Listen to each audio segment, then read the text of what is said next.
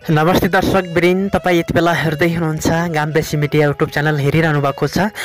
त्यसो त म तपाईँको माझमा आज मुक्तक लिएर आएको छु। तपाईँ यस च्यानलमा यदि नयाँ हुनुहुन्छ भनेपछि यस च्यानललाई सब्सक्राइब गरेर साथमा आउने बेलायकन थिच्न नभुल्नुहोला। आजको विषयमा मैले मुक्तक अनि कविता लिएर आएको छु। पक्कै पनि अन्तिमसम्म सुनेर हेरेर साथ दिनुहोला। के गाउँ के सहर तपाईँ सँगै हुनेछौँ। निरन्तर मात्र गाम बेसी मिडिया गाम बेसी मिडिया गाम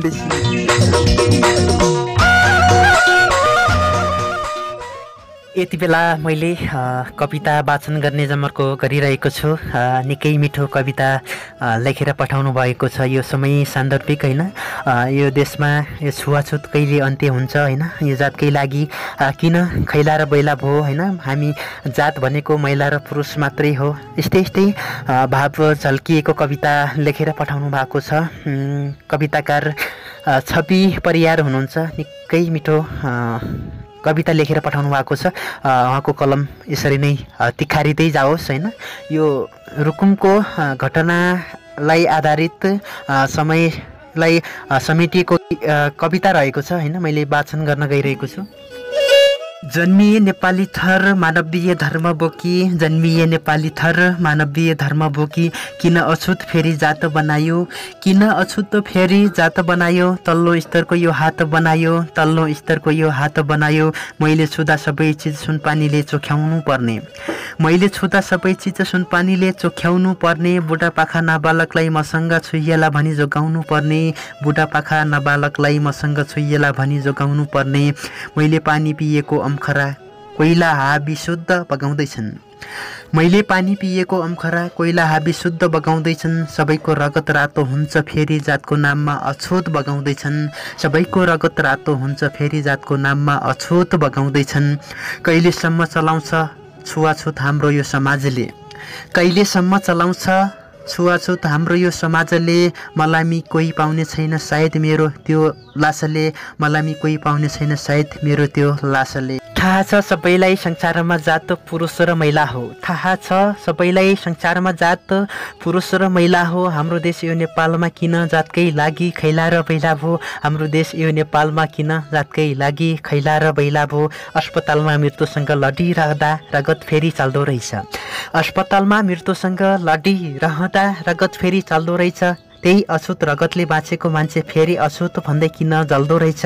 त्यही अछुत रगतले बाँचेको मान्छे फेरि अछुत भन्दै किन जल्दो रहेछ? लत्ता कपडा भाँडाकुँडा मन्दिर चल्छ अछुतले बनाएको।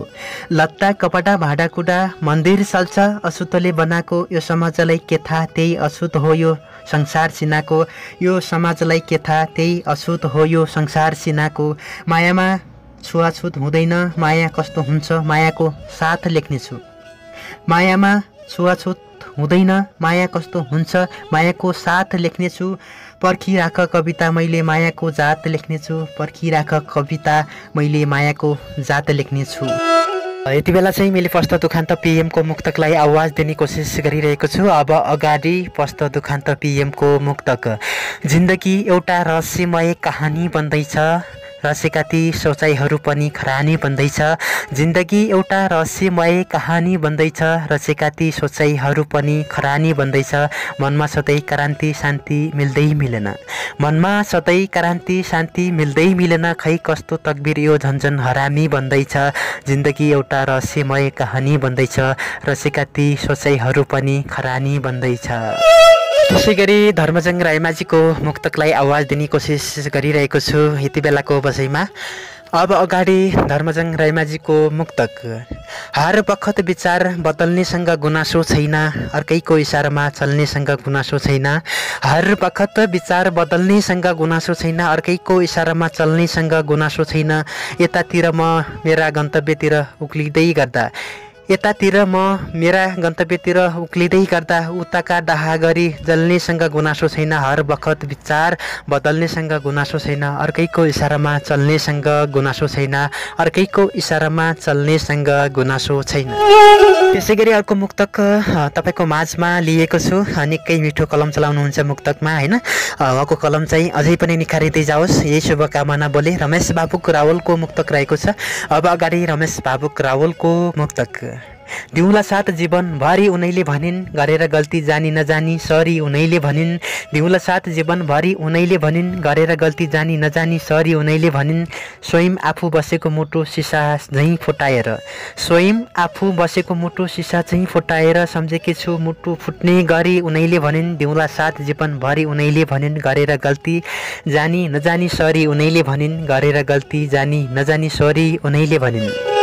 त्यसै गरी मैले ध्रुवराज खनालको मुक्तकलाई जोड्ने कोसिस गरिरहेको छु। उहाँको कलम पनि निकै तिखारिएको छ साहित्यमा निखारिएको छ होइन? बल्छ आगो जल्छ मन हलचल हुँदैन। अनि एकातिर चल्छ मन हलचल हुँदैन। बल्छ आगो जल्छ मन हलचल हुँदैन। अनि एकातिर चल्छ मन हलचल हुँदैन। जीवन यात्राको अर्को पाटो सङ्घर्ष पनि हो। जीवन यात्राको अर्को पाटो सङ्घर्ष पनि हो। एकपटक मात्रै पाइन्छ जीवन। पल पल हुँदैन बल्छ आगो जल्छ मन हलचल हुँदैन अनि एकातिर चल्छ मन हलचल हुँदैन अनि एकातिर चल्छ मन हलचल हुँदैन। हजुर आजको बसाइमा कविता अनि मुक्तक पठाउने सम्पूर्णलाई धेरै धेरै धन्यवाद। यतिन्जेल हेर्नुभयो तपाईँ सम्पूर्णलाई। पनि धेरै धेरै धन्यवाद दिन चाहन्छु। यदि तपाईँ गजल कविता मुक्तक पठाउन चाहनुहुन्छ भनेपछि मेरो फेसबुक आइडी नन्द निर्मल थापाको मेसेन्जरमा पठाउन सक्नुहुन्छ। र केही सल्लाह सुझाव प्रतिक्रिया छ भनेपछि गाम्बेसी मिडिया युट्युब च्यानलको कमेन्ट बक्समा राख्न सक्नुहुनेछ। तपाईँका सल्लाह सुझाव प्रतिक्रियाले नै म अगाडि बढाउनेछु।